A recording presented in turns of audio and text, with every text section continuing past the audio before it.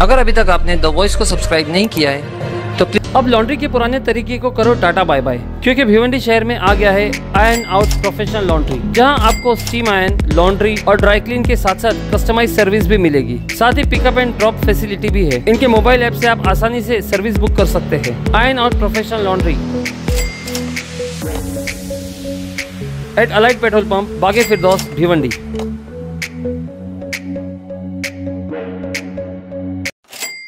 Hello friends, मैं फिरोज मेमन दवाइज में आप सभी का स्वागत है। आज हम आपके लिए बहुत ही सनसनीखेज खबर लाए हैं। सनसनीखेज खबर ये है कि भिवंडी शहर में मेट्रो का काम ज़ोरों शोरों से चल रहा है और फ़िलहाल हम खड़े भिवंडी के धामन के नाका पे, जहाँ भिवंडी धामन के नाका मेट्रो स्टेशन आने वाला मेरे पीछे। देखिए, यहाँ तक जो है इनका काम तकरीबन सिक्सटी सेवेंटी हो चुका है और आज भिवंडी ईस्ट के एम रईस शेख जो है वो यहाँ पर इस काम का दौरा देख करने के लिए, इस काम का जायज़ा लेने के लिए आए हैं और उन्होंने पहले अंजुर फाटा पे अपना विज़िट किया, अंजुर फाटा पे जो है उन्होंने देखा कि जो वर्क कितना किस तरह का जो है कितना प्रोग्रेस हुआ है, किस लेवल का काम हुआ है, क्या स्टेटस है काम का, और फिर वहाँ से वो धामन के नाके पे आए हैं, यहाँ पे देखने के लिए। अब यहाँ पे एक और बात, एक बहुत ही अहम बात हमें पता चली है, वो ये है कि जो धामन का नाके का जो ब्रिज है, वो टूटेगा मेट्रो के कारण से जल्दी टूटेगा लेकिन यहाँ पे दूसरा ब्रिज नहीं बनेगा, यहाँ पे मेट्रो के लिए डायरेक्ट ब्रिज बनेगा और जो ब्रिज है,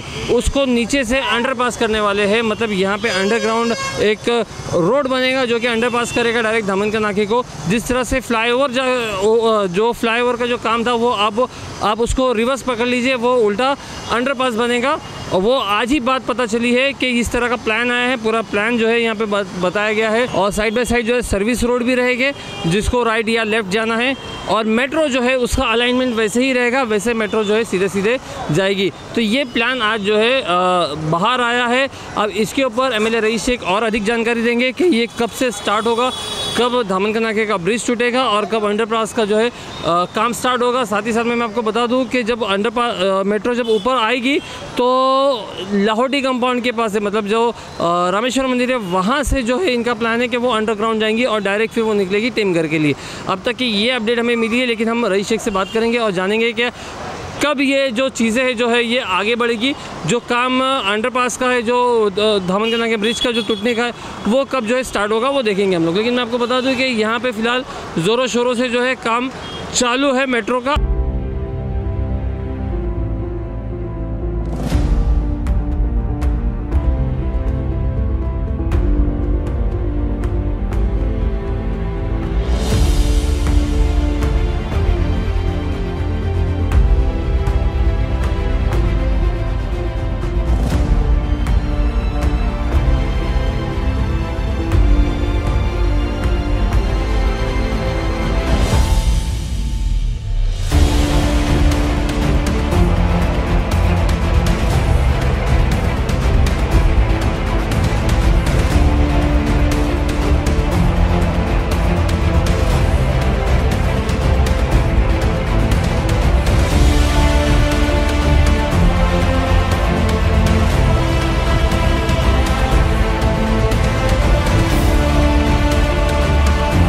आप भिवंडी मेट्रो दौरे पे निकले हैं तो क्या अपडेट है, क्या स्टेटस है मेट्रो फाइव का जो है, दो फ़ेज़ में प्रोजेक्ट है। एक फ़ेज़ वन है फ़ेज़ टू है। फ़ेज़ वन जो है, उसका 81 परसेंट काम हुआ है। और मैं चाह रहा हूँ उसको बहुत फास्ट किया जाए। और फ़ेज़ टू जो है, उसका अभी कंसल्टेंट डिज़ाइन बना रहे हैं। उसका भी मैं चाह रहा हूँ कि जल्द से जल्द काम हो। मुझे जो आज समझ में आया कि इसको अगर हम अच्छे से फॉलोअप करेंगे तो ये प्रोजेक्ट जल्दी ख़त्म होगा।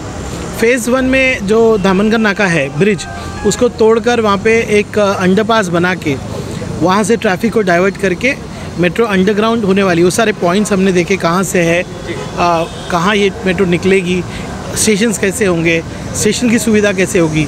अब उसको डीपी प्लान से इंटीग्रेट करके जहाँ स्टेशन है, जहाँ पे एक स्टेशन पे दिन में छब्बीस हज़ार लोग आने वाले, किसी स्टेशन पे छः हज़ार लोग आने वाले, वहाँ पे बाइक पार्किंग कैसे होगी वहाँ पे रिक्शा आके कैसे खड़े रहेंगे? वहाँ पे रास्ते कैसे होने चाहिए? ताकि हम एक नया प्रॉब्लम ना खड़े कर दें जिसको कहते हैं कि कंजेशन ना हो जाए। तो ये सब इनके कंसल्टेंट्स की इनके एम के सारे कंसल्टेंट्स कॉरपोरेशन इनकी एक कॉन्फ्रेंस हम लेने वाले हैं ताकि सिटी की डिज़ाइनिंग अच्छी हो और भिवंडी शहर जो आने वाला मुस्तबिल जो है उसके लिए तैयार हो।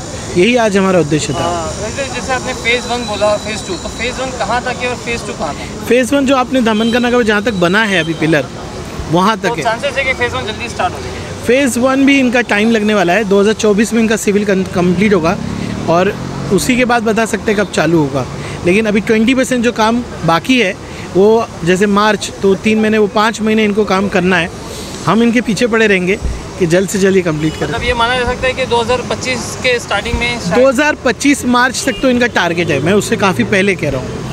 कैसे हम कंप्लीट कर और ये जो फ़ेज़ टू है तो ये कब तक फ़ेज़ टू का भी डिस्कशन चल रहा है कि जो नॉन एलिवेटेड पोर्शन है उसका काम चालू कर दे जो कल्याण साइट का और जो अंडर अंडरग्राउंड पोर्शन है उसका डिटेल डीपीआर ये जल्द से जल्द बनाए दो महीने में और उसको दे दे और उसका टेंडर कर अच्छा दे। इस बीच में कुछ अड़चन है या तो रहवासियों की तरफ़ से या सरकार की तरफ़ से कुछ अड़चन मुझे लग नहीं रहा अभी ऐसा तो कोई फीडबैक मुझे नहीं मिला है। सरकार की तरफ़ तो डेफिनेटली नहीं है उसके लिए हम हैं। रहवासियों की तरफ़ से भी मुझे ऐसा कोई अड़चन दिख नहीं रही हो। मोस्टली बहुत बहुत ही मिनिमम टूटने वाला है, बहुत मिनिमम लेकिन एक चीज़ अच्छी है, जो असेंबली में हमने मांग की थी कि जो भी व्यक्ति जिसका नुकसान होगा मेट्रो की तरफ़ से, उसको मुंबई की तर्ज पे उसको मुआवजा मिलेगा, वो मांग सरकार ने कबूल की है।